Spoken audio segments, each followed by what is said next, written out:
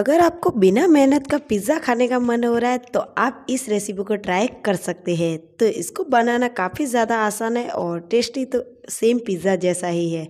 तो हमें एक बाउल ले लेना है, उसके अंदर थोड़ी सी शिमला मिर्ची ले लेनी है साथ में ही थोड़ी सी हमें गाजर ले लेनी है। तो मैंने यहाँ पर आधी शिमला मिर्ची ली है और आधी ही गाजर ली है, साथ में थोड़ा सा हरा धनिया हमें इसके अंदर डाल देना है।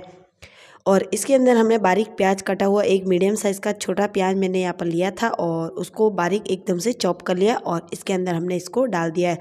साथ में थोड़ा सा चिली फ्लेक्स डाल देना है और साथ में थोड़ा सा ऑरिगेनो भी हमें यहाँ पर डाल देना है।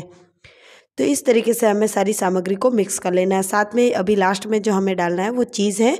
तो अब इस तरीके से मैंने चीज़ को ग्रेट कर दिया था, दो क्यूब्स लिए थे मैंने चीज़ के और इस तरीके से ग्रेट करके हमने इसको डाल दिया है। अब थोड़ा सा काला नमक, थोड़ा सा गरम मसाला। ध्यान रखिएगा, ये मसाले थोड़े कम कम ही डालने हैं और थोड़ा सा टेस्ट के अकॉर्डिंग कम थोड़ा सा नमक और थोड़ा सा चाट मसाला। अब इसको जो है अच्छे से मिक्स कीजिए। पूरी तरीके से अच्छे से मिक्स हो जाने चाहिए चीज़ के साथ। और अभी इसको हाथों से थोड़ा सा मिक्स कर लेना है चीज़ के साथ ही और इसको साइड में रख देना है और अब करते हैं आगे की तैयारी। तो मैंने यहाँ पर कुछ ब्रेड ले ली है और अभी ब्रेड को थोड़ा सा हल्का सा रोल कर लेंगे, यानी कि थोड़ा सा ऊपर बेलन घुमा के थोड़ा सा लंबा कर लेंगे और अभी इसको एक ग्लास की या फिर छोटी कटोरी है तो वो बहुत ज़्यादा बढ़िया रहेगा।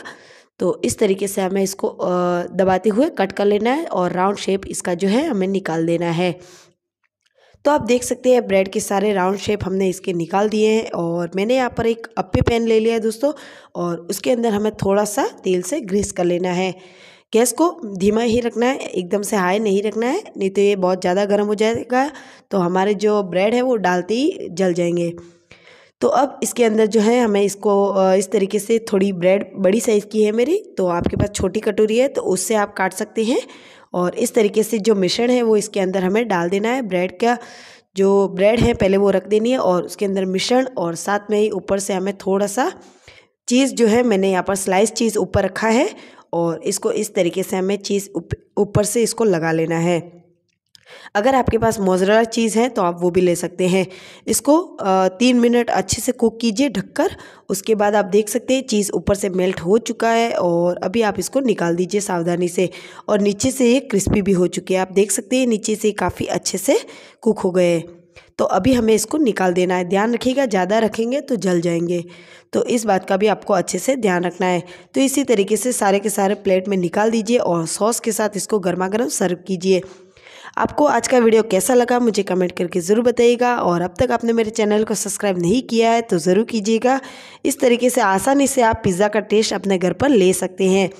और थोड़ा सा ऊपर से ऑरिगेनो मैंने यहाँ पर डाल दिया है और बहुत ही टेस्टी और डिलीशियस ये रेसिपी है। तो आप एक बार इसको ज़रूर ट्राई करें। Bye bye